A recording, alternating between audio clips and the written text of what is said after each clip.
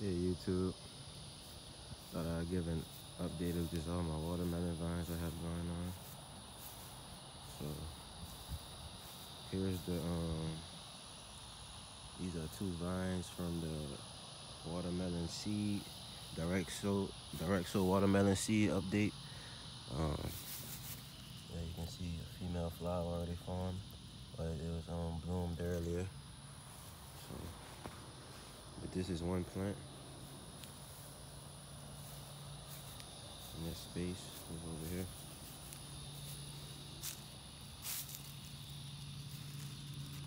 Nice thick stalk. Sweet ants running around enough of it. But as I said, that's one plant. And then this is one plant. You can see the different type of foliage. See this leaf and that. So maybe some big melons that come from this plant right here. So this one is starting to spread also.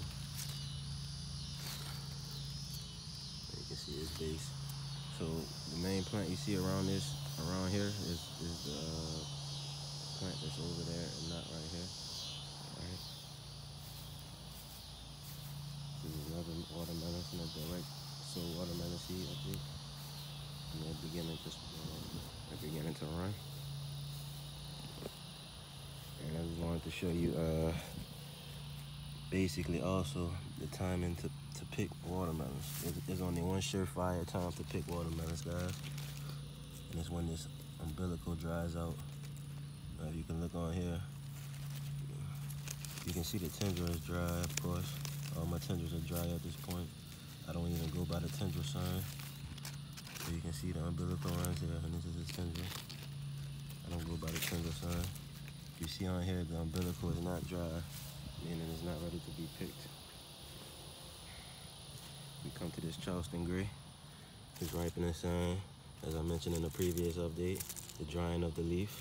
If you look at yesterday's video, this leaf had more green in it. If you look at previous videos, it was even more green and more green. So this stem, I assume, will dry out. This tendril is dried out. But then you can see on the umbilical, we have a drying of the umbilical going on right here. So that, that, that watermelon is, is ready to pick, but I'll wait for this.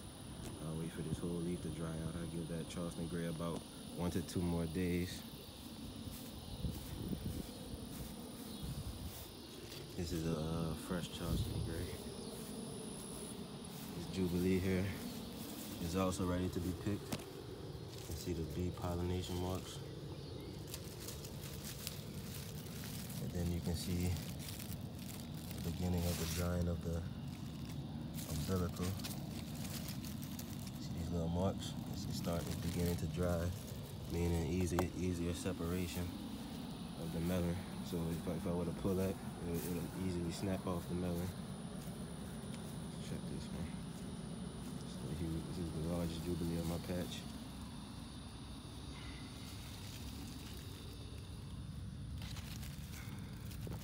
And it's, um, it's, it's uh, tendril is dried out, but it's starting to dry.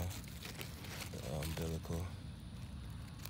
If you can see that there, it's the beginning of drying.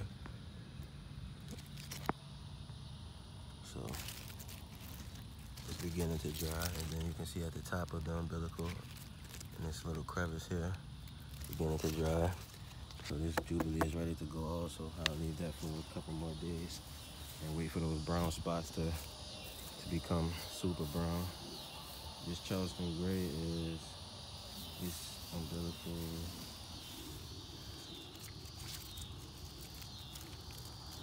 beginning to dry also. You can look in there. I don't want to snap the vine, so you can see it starts browning up. Now this is the, the beginning sign of it browning up. You'll eventually notice that it'll, it'll become actually browned. And I'll show you on the Cal Sweet watermelon.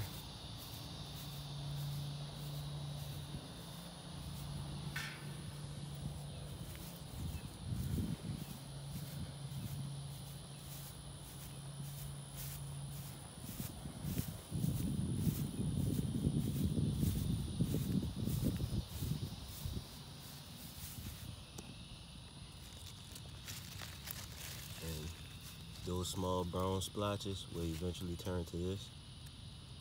And then this will also become even bigger. So the longer I leave it on there, it'll actually, it'll just eventually just dry out totally on its own. But I'm not gonna wait for it to totally dry out. I just want, I just want a decent amount of drying. You know, here I have more fruit set. This is a fruit set and I don't think this one's set because of the size. You see that's, how small that is and large that one is. They were, they were formed on the same day, those flowers. I have a Cal Sweet, super large. Jubilee over here, large one. Then a smaller Jubilee over here. And then I have this Crimson Sweet. Alright guys. So it's my update for today. Surefire method of harvesting watermelons. I will do a, a update part one. Uh, maybe tomorrow or within a couple days, I'll wait for the, those brown spots to become even more dry.